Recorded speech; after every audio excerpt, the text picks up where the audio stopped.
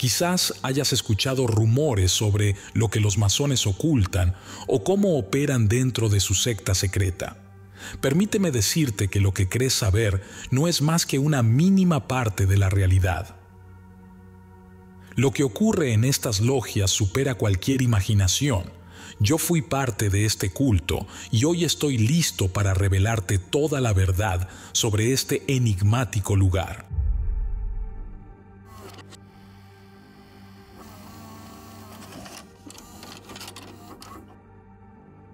Esto no es para advertirte, porque ya es demasiado tarde para cualquiera que esté leyendo esto. Es para que sepas que lo que sucede en las sombras no es una teoría, no es una exageración. Es real, tan real como la sangre que corre en tus venas. Mi nombre es Daniel Harris y en 1985 yo era un joven arquitecto de 28 años con una prometedora carrera. Nací y crecí en Salem, Massachusetts, una ciudad cargada de historia, supersticiones y leyendas. Mi especialidad era la restauración de edificios históricos, un trabajo que amaba y que, a mis ojos, me acercaba a la inmortalidad. Restaurar un edificio significaba dejar una huella, una marca que duraría siglos. Todo comenzó cuando mi mentor, Henry Whitaker, un arquitecto de renombre, me ofreció una oportunidad que sonaba demasiado buena para rechazar. Había una reunión exclusiva de la élite masónica local, un evento al que, según él, solo los mejores y más influyentes eran invitados. Tienes talento, Daniel, me dijo, pero el talento solo te lleva hasta cierto punto. Lo que necesitas es entrar en la red correcta.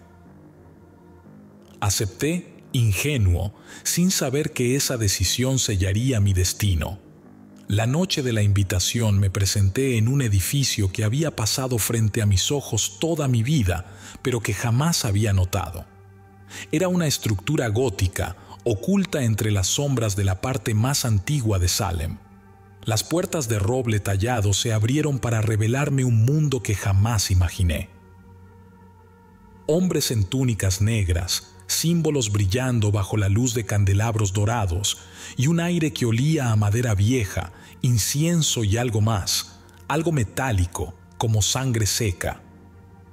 Me presentaron a Nathaniel Crow, el líder de la logia, un hombre alto y delgado con ojos que parecían ver más allá de mi piel. Bienvenido, Daniel, dijo con una voz que resonó como un eco en mi pecho. Esta es tu puerta hacia un nuevo nivel de existencia. ¿Estás listo para cruzarla? Yo no lo sabía entonces, pero esa noche, al entrar en aquel edificio, también crucé una línea que me llevaría al borde de la locura. Porque en el mundo de los vivos, no todas las puertas conducen a lugares terrenales, y no todos los templos son para venerar a dioses que los hombres puedan entender. Si estás leyendo esto, yo ya estoy muerto. No hay forma de escapar de ellos. He escrito esto para que al menos tú, quien sea que seas, sepas la verdad. En este mundo, el poder no viene sin un precio, y ese precio siempre es sangre. Nunca había sentido que mi vida necesitara algo más. Mi carrera como arquitecto iba en ascenso y trabajar bajo la tutela de Henry Whitaker era un sueño cumplido. Sin embargo, su propuesta para asistir a una reunión masónica no fue un simple consejo profesional, fue más bien una orden disfrazada de sugerencia. Daniel, las puertas que esta invitación puede abrir no se comparan con nada que hayas imaginado. Ellos no solo restauran edificios, restauran la vida de quienes entran a su círculo. Sus palabras estaban cargadas de una gravedad que no pude ignorar. Acepté sin pensarlo mucho, intrigado por la posibilidad de conocer a hombres poderosos y por las promesas de un futuro deslumbrante. Llegué al edificio a las afueras de Salem al caer la noche. La fachada no revelaba nada especial, pero la energía del lugar era distinta, como si las piedras mismas vibraran con una historia que deseaban gritar. Dentro, el ambiente era imponente. El vestíbulo estaba adornado con candelabros de oro y los muros exhibían un patrón de triángulos entrelazados con serpientes que parecían moverse bajo la luz. Decenas de hombres, todos vestidos con túnicas negras bordadas con símbolos que no reconocía, caminaban por los pasillos en silencio, sus rostros ocultos bajo máscaras que solo dejaban entrever sus ojos. Me guiaron hasta un gran salón circular con un techo abovedado. El centro de la sala estaba dominado por un mural perturbador, figuras humanas de rodillas mutiladas, ofreciendo sus extremidades a un ser gigantesco con forma de serpiente. Sus ojos múltiples parecían seguirte sin importar dónde estuvieras. Daniel Harris, anunció una voz firme. Era Nathaniel Crow, el líder de la logia. Su presencia llenaba la sala. Alto, delgado, con una túnica que parecía hecha de escamas negras, me miró con una sonrisa que no alcanzaba sus ojos. Bienvenido. Esta noche te presentamos a una nueva perspectiva, un camino que muy pocos son dignos de recorrer. La elección final siempre será tuya. Pero ya sabía que eso no era cierto. Desde el momento en que crucé esas puertas, cualquier elección que hubiera tenido quedó atrás. La ceremonia comenzó con un discurso sobre el poder y el sacrificio. Nathaniel hablaba con una cadencia hipnótica y cada palabra parecía reverberar en mis huesos. En un momento me ofrecieron una copa de vino. Un brindis por el conocimiento y la trascendencia, dijeron. La bebí y en segundos sentí cómo el mundo se tambaleaba bajo mis pies. Entonces lo vi. Desde un rincón oscuro, dos hombres arrastraban un cuerpo envuelto en tela hacia una puerta trasera. Nadie más pareció notarlo o simplemente no les importaba. Mi respiración se aceleró, pero cuando miré a mi alrededor, todos los rostros seguían serenos, ajenos a lo que acababa de presenciar. Cuando la ceremonia terminó, Henry me llevó aparte. ¿Qué te pareció? preguntó con una sonrisa. No estoy seguro de qué pensar, respondí, tratando de ocultar el temblor en mi voz. Es normal. Este es solo el comienzo. Para obtener el conocimiento y el poder que ellos ofrecen, tendrás que abrir tu mente y tu voluntad. Nos vemos en la próxima reunión. Esa noche, mi sueño estuvo plagado de imágenes de serpientes arrastrándose bajo mi piel y el murmullo de voces que repetían una palabra que no entendía. Vigía. Al despertar, supe que algo dentro de mí había cambiado, aunque aún no comprendía la magnitud de lo que estaba por venir. No podía sacarme de la cabeza las imágenes de aquella primera noche, los símbolos, el mural, los hombres arrastrando el cuerpo. Todo me perseguía como una sombra que se arrastra en silencio. Cuando recibí la invitación para la siguiente reunión, supe que algo más oscuro me esperaba, pero no podía rechazarla. Henry me recogió en su auto esa noche. Su semblante era diferente, más sombrío durante el trayecto apenas hablamos, pero noté cómo sus manos temblaban ligeramente sobre el volante. Lo que verás esta noche puede ser impactante, Daniel, dijo finalmente.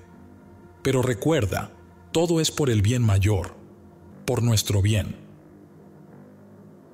Llegamos a un edificio diferente, una mansión escondida en un bosque denso.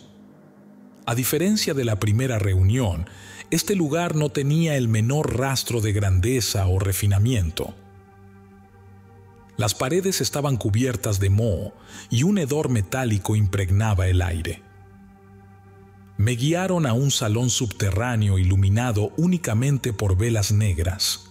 En el centro había un altar de piedra y sobre él una mujer desnuda y amordazada estaba atada con cadenas. Intentó gritar cuando nos vio entrar, pero el sonido quedó atrapado tras el paño que cubría su boca. Nathaniel Crow se situó frente al altar con la misma serenidad que un sacerdote en misa. En sus manos sostenía una daga con una hoja de obsidiana. Esta noche alimentaremos al vigía, dijo con voz solemne. Su vigilancia nos mantiene fuertes. Su hambre es nuestra guía. Los masones comenzaron a recitar cánticos en un idioma que nunca había escuchado, un sonido gutural y vibrante que parecía llenar el aire con algo más que palabras. Nathaniel levantó la daga y sin titubear, la hundió en el abdomen de la mujer. El grito ahogado de la víctima resonó en mi mente mucho más fuerte que en el aire. Nathaniel trabajó con precisión quirúrgica, cortando y extrayendo órganos mientras el cántico aumentaba en intensidad. Uno a uno, los masones pasaban un cáliz para recoger la sangre que brotaba del cuerpo. Bebe, ordenó Nathaniel cuando el cáliz llegó a mis manos. ¿Qué? No, no puedo hacer esto. Mis manos temblaban y sentí el sudor frío bajando por mi espalda. Si quieres seguir entre nosotros, Daniel, debes hacerlo. El vigía no tolera a los débiles. Su mirada atravesó mis dudas como un cuchillo. Apreté los dientes y llevé el cáliz a mis labios. El sabor metálico de la sangre me llenó la boca y algo en mi interior se rompió. Cuando terminé, Nathaniel sonrió satisfecho y me dio una palmada en el hombro. Esa noche no dormí. Cada vez que cerraba los ojos, veía la figura de una serpiente que se deslizaba lentamente hacia mí, sus ojos múltiples fijos en los míos. Su voz, fría y seductora, me susurraba cosas que no podía comprender. A la mañana siguiente, encontré un símbolo grabado en mi antebrazo, como si alguien lo hubiera quemado en mi piel mientras dormía. Era un triángulo con serpientes entrelazadas, idéntico al que vi en el mural. Quise hablar con Henry, exigirle una explicación, pero cuando lo confronté, su respuesta me dejó sin aliento. Todos llevamos esa marca, Daniel. Es el signo de que ahora el vigía te observa no puedes dar marcha atrás. Mis manos temblaban mientras miraba el símbolo. Lo que antes era solo curiosidad ahora se había convertido en una trampa, y yo estaba atrapado en el centro de una red que no entendía, pero que me apretaba con cada movimiento. Los días que siguieron al sacrificio me llenaron de una inquietud insoportable. Mi cuerpo no estaba en paz y mi mente era un hervidero de pensamientos oscuros que no podía controlar. A menudo despertaba en medio de la noche con la sensación de que algo se movía bajo mi piel. Cuando trataba de convencerme de que era mi imaginación, el símbolo quemado en mi brazo me recordaba que todo era real. Una noche recibí una llamada de Henry. Su voz era solemne, casi mecánica. Daniel, debemos llevarte al templo. Es hora de que entiendas lo que realmente significa pertenecer. Antes de que pudiera negarme, añadió, no tienes opción. Ellos ya han decidido. El trayecto al templo fue más largo y tortuoso que cualquiera de los caminos que habíamos recorrido antes. El auto serpenteaba por senderos oscuros, rodeados de árboles que parecían extenderse hacia nosotros como garras. Finalmente, llegamos a un claro donde se alzaba una estructura oculta entre las sombras del bosque. El templo parecía una anomalía, algo que no debía estar allí. Sus paredes de piedra negra estaban cubiertas de símbolos tallados con una precisión que no podía ser obra de manos humanas. Los mismos triángulos y serpientes que había visto antes ahora se entrelazaban en patrones hipnóticos, como si quisieran engullir a cualquiera que los mirara por demasiado tiempo. Nathaniel y los demás masones me guiaron al interior. El aire era denso, impregnado de un olor metálico y pútrido. Nos dirigimos a un salón principal, donde un altar más grande que el de la ceremonia anterior dominaba el espacio. Este estaba cubierto de sangre seca y cicatrices de cuchillos que parecían siglos antiguos. Bienvenido al templo de la escama, dijo Nathaniel mientras extendía los brazos. Aquí es donde el pacto fue sellado hace generaciones. Aquí es donde el vigía escucha nuestras súplicas. Antes de que pudiera procesar sus palabras, comenzaron un ritual al que llamaron el juego de la escama. Un hombre, a quien identificaron como un traidor, fue llevado al altar. Su rostro estaba desfigurado por el miedo y sus súplicas por piedad fueron ignoradas.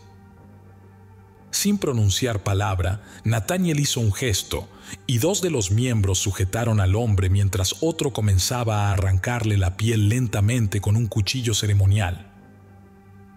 Cada grito de dolor parecía alimentar el frenesí de los masones, que recitaban cánticos cada vez más intensos. Que la carne caiga para que el alma vea, repetían, una y otra vez. Cuando el cuerpo del hombre quedó reducido a un amasijo sangriento, Nathaniel me miró. Ahora es tu turno, Daniel. Debes demostrar que estás dispuesto a sacrificarte por el conocimiento.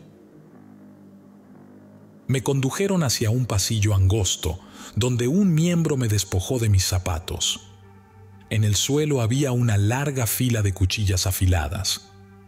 Debes caminar hasta el altar descalzo. Solo entonces el vigía te considerará digno. El primer paso fue como pisar fuego. La segunda cuchilla atravesó la piel de mi talón y el dolor subió hasta mi columna. Cada paso que daba era una prueba de voluntad. Con cada corte los cánticos parecían volverse más penetrantes, como si se grabaran directamente en mi cráneo. Cuando finalmente llegué al altar, caí de rodillas, jadeando y sangrando. Nathaniel se inclinó hacia mí y susurró, El dolor es el precio por mirar más allá del velo. Esa noche, mientras los masones celebraban mi éxito, encontré un acceso restringido en el templo. Aprovechando un momento de distracción, me escabullí y encontré una sala llena de documentos antiguos. Lo que leí allí me heló la sangre. Descubrí que la logia tenía registros de sacrificios humanos que databan del siglo XVIII las víctimas incluían políticos, empresarios e incluso niños desaparecidos.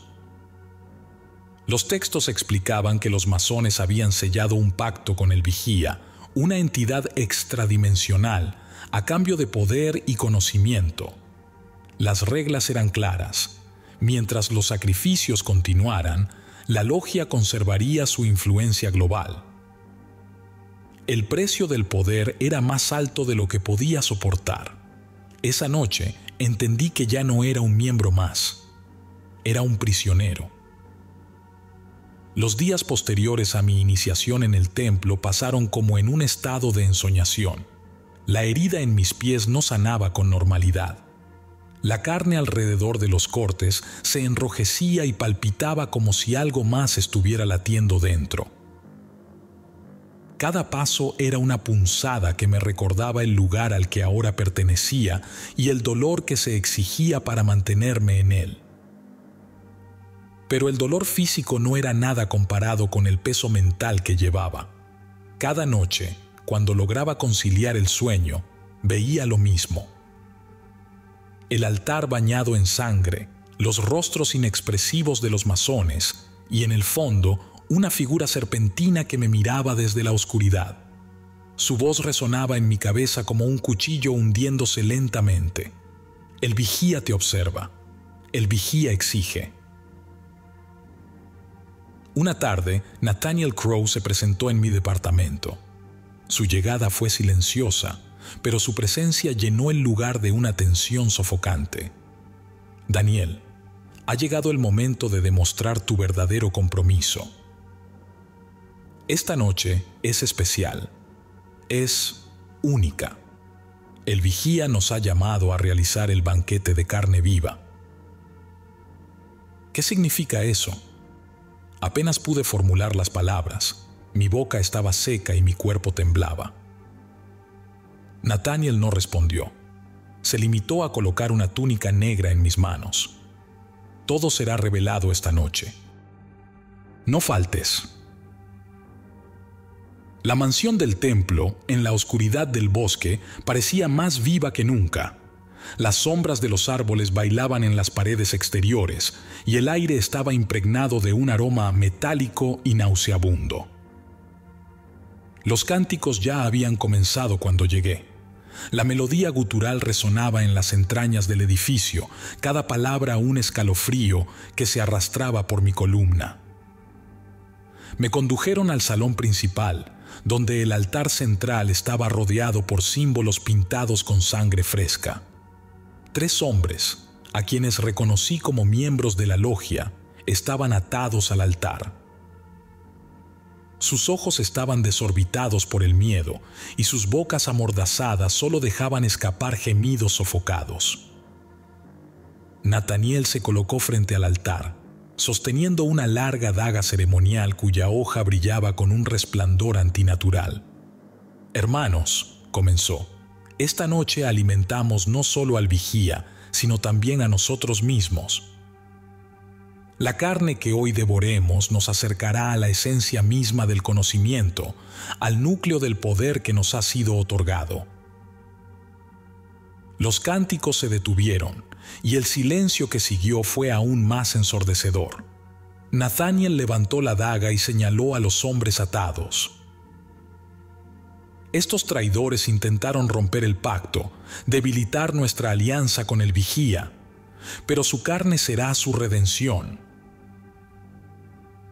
El primer grito atravesó el aire cuando Nathaniel hundió la daga en el brazo de uno de los hombres. Con movimientos precisos, cortó un trozo de carne que comenzó a sangrar profundamente. Luego, lo levantó frente al grupo, como si ofreciera un sacrificio antes de morderlo. Ahora, hermanos, compartan. Uno a uno, los masones se acercaron al altar para cortar pedazos de carne de las víctimas. Las luces de las velas proyectaban sus sombras en las paredes, transformándolos en figuras grotescas. Yo estaba paralizado. Cada fibra de mi ser gritaba que debía correr, pero mis pies no respondían. Daniel. La voz de Nathaniel me sacó del trance. Me extendió la daga, sus ojos llenos de una mezcla de desafío y diversión. Demuestra tu lealtad. Caminé hacia el altar, sintiendo las miradas de todos los presentes clavadas en mi espalda. Mi mano temblaba cuando tomé la daga. Me acerqué al segundo hombre, quien movía la cabeza frenéticamente, sus ojos suplicando misericordia. Cerré los ojos y corté un pequeño trozo de carne de su muslo. Ahora come, ordenó Nathaniel. El pedazo de carne temblaba en mi mano y mi estómago se revolvía con solo mirarlo. Lo llevé a mis labios, pero el hedor era insoportable. Mis manos temblaron y el trozo cayó al suelo. Nathaniel soltó una carcajada. El vigía no tolera a los débiles. El ritual continuó, cada vez más grotesco. Finalmente, los cuerpos mutilados de las víctimas fueron arrojados a una fosa que había en un rincón del salón. Cuando los masones comenzaron a entonar un nuevo cántico, un sonido emergió de la fosa. Era un ruido húmedo y pesado, como si algo grande y viscoso se moviera en su interior. Me acerqué lo suficiente para mirar dentro, y lo que vi me dejó sin aliento. Un ser, una criatura que no podía describir, se movía en la oscuridad. Era enorme. Su piel parecía una amalgama de escamas y carne putrefacta, y múltiples ojos parpadeaban en todas direcciones. El vigía cobra su parte, susurró Nathaniel detrás de mí. No fue una simple ceremonia, Fue una experiencia que desgarró el tejido mismo de mi entendimiento de la realidad. Después del banquete de carne viva, Nathaniel me llamó aparte. Su voz era baja, pero la intensidad en sus ojos dejaba claro que no había espacio para objeciones. Daniel, lo que presenciaste fue solo el preludio. Ahora debes enfrentarte al propósito más profundo de nuestra orden. Esta noche abriremos la puerta del vigía. Antes de que pudiera protestar, dos hombres me tomaron por los brazos y me condujeron a una habitación cerrada. Allí, un miembro encapuchado me entregó una túnica con bordados de oro y negro, mucho más ornamentada que cualquier otra que había usado antes. Vístete, prepárate para el sacrificio final, dijo sin emoción. Fui llevado a una sala diferente, más profunda en el templo.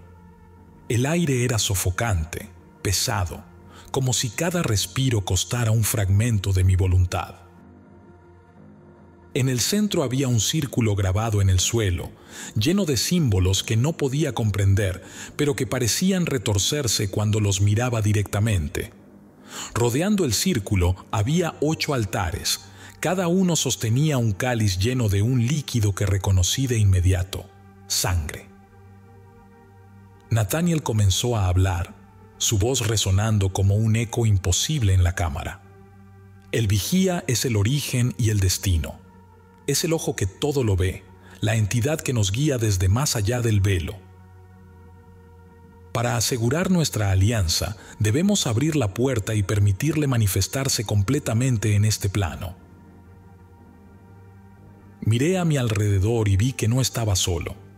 Tres personas, desconocidas para mí, estaban atadas a los altares, sus ojos llenos de miedo. Sabía lo que iba a suceder antes de que Nathaniel siquiera lo dijera.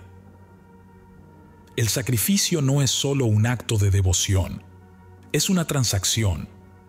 Estos tres servirán como ofrenda inicial, pero para que el portal se mantenga estable, se necesita un último sacrificio, alguien que ya esté marcado por el vigía. Mi sangre se congeló al entender lo que significaba. El símbolo en mi brazo comenzó a arder, como si respondiera a las palabras de Nathaniel. No me someteré a esto, murmuré, retrocediendo un paso. Nathaniel sonrió, como si hubiera esperado esa respuesta. Por supuesto que lo harás, Daniel. No es una cuestión de elección, es tu destino. Los masones comenzaron a recitar un cántico, sus voces guturales llenando la sala con un eco que parecía provenir de un lugar más allá de este mundo. El aire comenzó a vibrar y un calor insoportable emanó del círculo en el suelo. La sangre de los cálices fue vertida en el círculo y el líquido comenzó a moverse como si estuviera vivo. Las líneas de los símbolos se iluminaron, primero en un rojo oscuro y luego en un blanco cegador. Un rugido bajo resonó en la sala, no un sonido físico, sino algo que sentí en mis huesos. Es hora, dijo Nathaniel, señalándome con la daga ceremonial. Antes de que los demás pudieran detenerme, reaccioné. Golpeé a uno de los masones que se acercaba y tomé la daga. Los cánticos se detuvieron brevemente mientras intentaba abrirme paso hacia la salida, pero antes de que pudiera llegar a la puerta, el suelo tembló y una grieta se abrió en el círculo central. De ella emergió una extremidad grotesca, una mezcla de carne y escamas que parecía no pertenecer a este mundo. Luego otra extremidad y después otra, hasta que una figura serpentina comenzó a surgir del portal. Era más grande de lo que había imaginado, y cada uno de sus múltiples ojos se abrió lentamente, dirigiéndose hacia mí. Daniel Harris, dijo la voz en mi mente, profunda y resonante. Te he estado observando. ¿Crees que puedes huir de tu propósito? Los masones cayeron de rodillas, sus rostros mostrando una mezcla de éxtasis y terror. Pero yo no podía moverme. Estaba atrapado por la mirada del vigía, cada ojo explorando lo más profundo de mi mente, sacando a la superficie cada miedo, cada culpa. Debes decidir, continuó la voz. La puerta está abierta. Puedo tomar este mundo o puedo tomarte a ti. Sentí que mi cuerpo era atraído hacia el portal. El suelo parecía derretirse bajo mis pies y el calor era insoportable. En un acto desesperado, levanté la daga y corté el símbolo en mi brazo. El dolor fue insoportable, pero el brillo en el portal vaciló. Nathaniel gritó, pero su voz fue ahogada por el rugido de la criatura. Con una fuerza que no creía tener, arrojé la daga al círculo. El portal comenzó a colapsar y el vigía soltó un grito que resonó como una explosión en mi cabeza. Los masones intentaron salvar el ritual, pero el círculo se cerró de golpe, dejando atrás un silencio absoluto.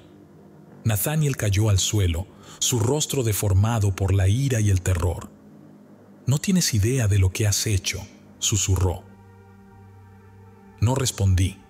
Salí corriendo sabiendo que esto no había terminado, pero al menos había ganado tiempo. Cuando el círculo colapsó y el portal se cerró, el caos se apoderó del templo. Los masones gritaban, incapaces de comprender lo que había sucedido. Nathaniel Crow seguía en el suelo, sus ojos llenos de una mezcla de furia y terror. Sabía que no tendría mucho tiempo antes de que recuperaran el control. Un guardia me bloqueó el paso cuando intenté salir del salón. Antes de que pudiera reaccionar, lo golpeé con toda la fuerza que me quedaba, derribándolo contra una de las columnas. Su cuerpo cayó pesado y tomé las llaves del auto que sobresalían de su cinturón. Antes de correr hacia la salida, algo me detuvo, una puerta entreabierta al final de un pasillo. Había pasado por ese corredor antes, pero nunca me habían permitido acercarme. Ahora, con los cánticos rotos y el templo en desorden, vi mi oportunidad. La habitación estaba llena de estantes repletos de carpetas, cajas de documentos y libros antiguos cubiertos de polvo. En el centro, sobre un escritorio, había un conjunto de registros con sellos masónicos. Tomé los primeros que encontré y comencé a leer. Lo que vi me dejó paralizado. Había nombres, fechas y descripciones detalladas de sacrificios realizados durante décadas.